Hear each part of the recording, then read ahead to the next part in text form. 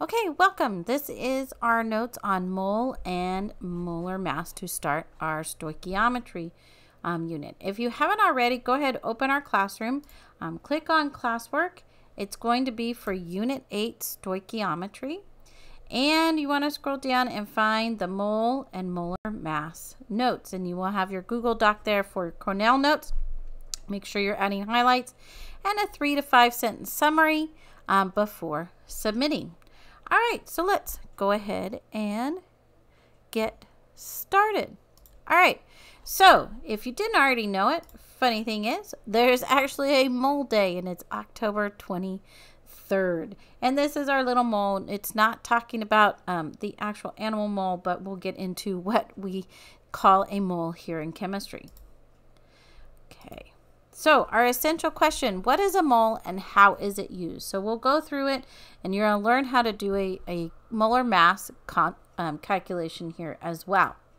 All right, if you want to, you can go into your chemistry book. Um, page 290 um, has a reading about what is a mole and 290 to 296 uh, mass of a mole of an element, which I'll go through here, and how to figure out the mass of a mole of a compound.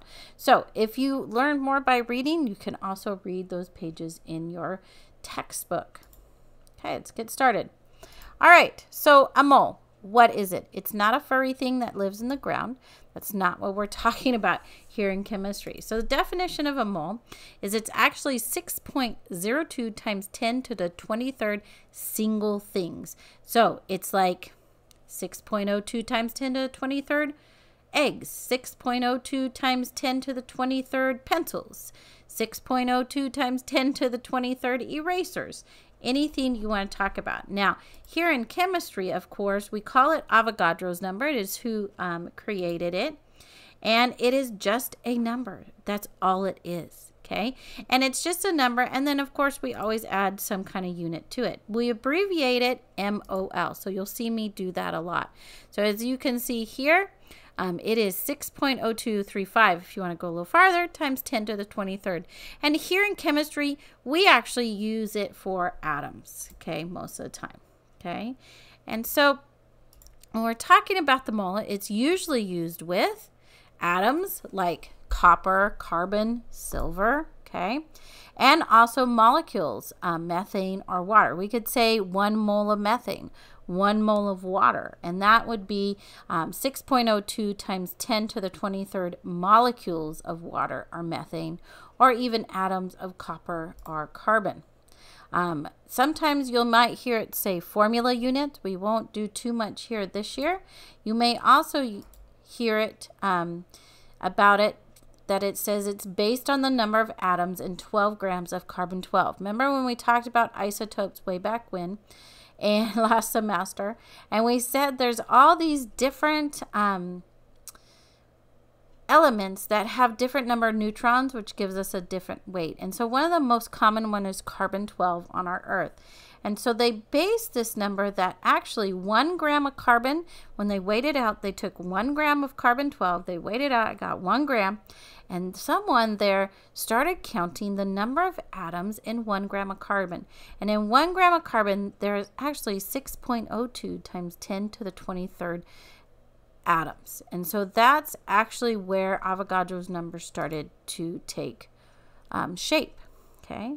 So here's some examples here. So one mole of sodium, okay, that's on our periodic table, Na, is 6.02 times 10 to the 23rd atoms of sodium. And that's how we just kind of make things um, be the same. And because sodium is going to have a different weight on the periodic table, um, it still has 6.02 times 10 to the 23rd atoms. So we just kind of easily make it a single number that we can use to compare each of them to each other, such as 1 mole carbon will still have 6.02 times 10 to the 23rd atoms, and 1 mole oxygen will again have 6.02 times 10 to the 23rd atoms. They will have different grams. 1 gram of sodium, okay, is still going to have or 1 mole of sodium will always have 6.02 times 10 to the 23rd atoms, but it may not be 1 gram, like in carbon, okay? So let's go ahead and talk about think about this a little bit more. How big is a mole? How big is 6.02 times 10 to the 23rd? Well, if you think about it, well, a dozen eggs will make a nice omelet. A mole of eggs will actually fill all of the oceans on the earth more than 30 million times over. Think about it. It would take 10 billion chickens laying 10 eggs per day, more than 10 billion years to lay a mole of eggs. That is how many eggs one mole of eggs would be. Okay. And so, why is the mole important? Why do we need it? I just told you that we use it to compare different atoms on the periodic table. And we actually use it in the coefficients. Remember those coefficients that we were using for the chemical balancing? Well, they actually mean something. Then they actually mean moles. So, like in this equation that you guys are used to seeing, um, the two here would mean I have two moles of hydrogen. Nothing here means I have one mole of oxygen, and here I would have four moles of water. Okay, and it's actually unbalanced, but it was just to show you the coefficients. Okay. All right, so if we have that, then how about molar mass? We talk about molar mass a lot. What would be the molar mass of an element? And it's very important to understand that one mole of anything has 6.02 times 10 to the 23rd atoms, but it's not going to have the same mass because everything has, remember, different numbers of neutrons, different number of protons. So each one is going to have a different mass. So a mole, when you have 6.02 times 10 to the 23rd atoms of something, you're either going to have it's very light or very heavy. Such an hydrogen has very low numbers of protons and neutrons, and that's why its molar mass, which is on the periodic table, is 1.01 grams. So one mole of hydrogen is 1.01 grams, but it still has 6.02 times 10 to the 23rd atoms, okay? All right, so the definition of molar mass is it is the mass of one mole of anything in grams okay? And so we use the periodic table to get the mass of one mole of any element, okay?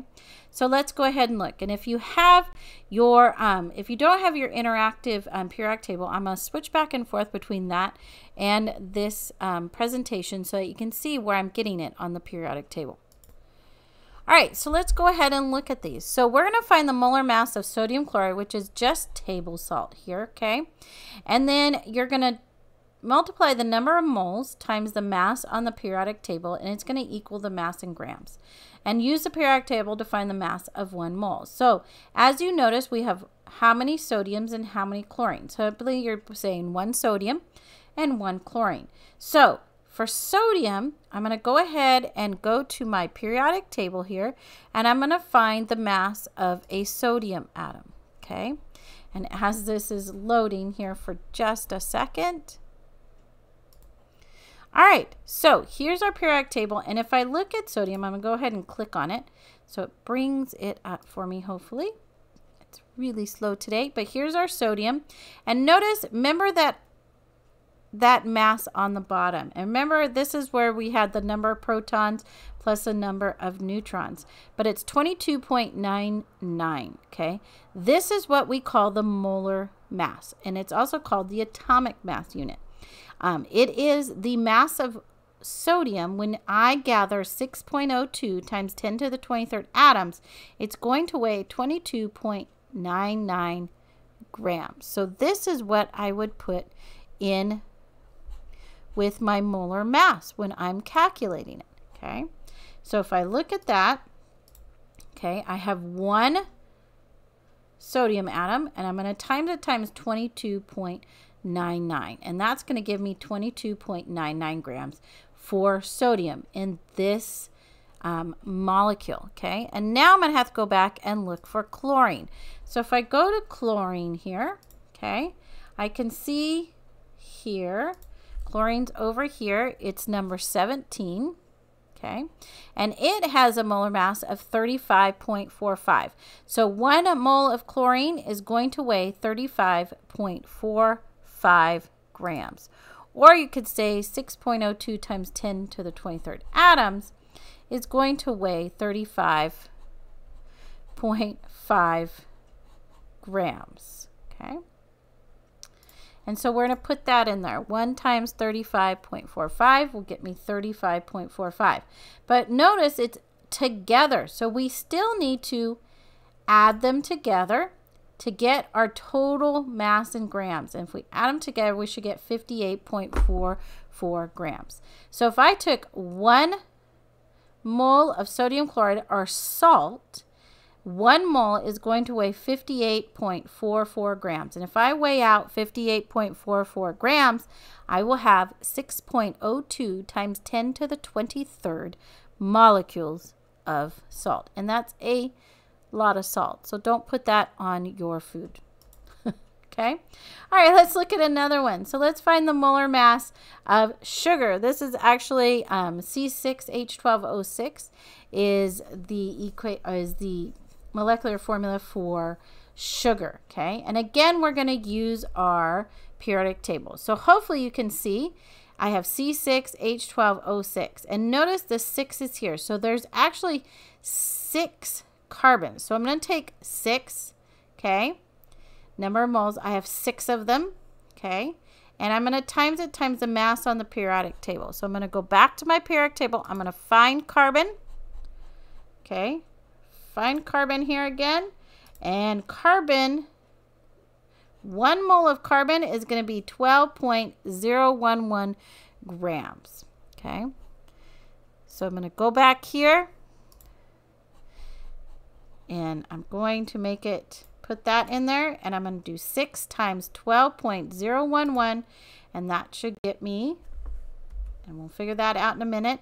And then we have 12 and if you go back on the periodic table, hydrogen weighs 1.0 0.08 and so you do 12 times 1.008 again I got that off the periodic table okay and so you can see here that hydrogen is up at the top if you click on hydrogen I look at that bottom number the atomic mass unit and it's 1.008 so that is what I will use to times how many I have okay and then oxygen, if you looked it up, it's going to be 15.999. And there's six of them here, so 6 times 15.999. If I multiply it out, I'll get 72.066 grams of carbon in that molecule. I'll get 12.096 grams of hydrogen and 95.994 grams of oxygen. I will add them all together to get my total um, molar mass of sugar as 180.156 grams. And if I weighed out 180.156 grams of sugar, I would have one mole of sugar. It's a lot of sugar. And in that sugar, I would have 6.02 times 10 to the 23rd molecules or atoms of sugar. Okay. All right, so I want you to go practice for a little bit. So I want you to pause this video. I want you to go find out what how much is a mole of fluorine atoms is. So that's in grams. Remember, you're looking it up on the periodic table in grams. How about a mole of potassium bromide? So it says moles, but should a mole of potassium bromide atoms is how much it would uh, that be in grams? Calculate the molar mass. And how about a mole of sodium carbonate here? I want you to take a minute, just do it on a piece of paper, see how you're doing, and then come back here, unpause this, and check your answers. All right, hopefully that you are done. And so you should have found that a mole of fluorine is 18.998 grams off the periodic table. A mole of potassium bromide is 119.002 grams. And a mole of sodium carbonate is 105.998 grams, okay? If you're still having trouble, please, please, please get a hold of me and I'll help you practice. And here's our little cat. I love this little thing. Do you have a mole problem? Call Avogadro at 602 1023. Haha, funny. All right, that is the end of our molar mass notes. So go ahead and process your notes, highlight any important notes, make connections to any of your notes in the left-hand column, write any questions you may have in the left-hand column, and then use your highlights, connections, and questions for your summary. And then write a three to five sentence summary. If you guys have any questions, please let me know.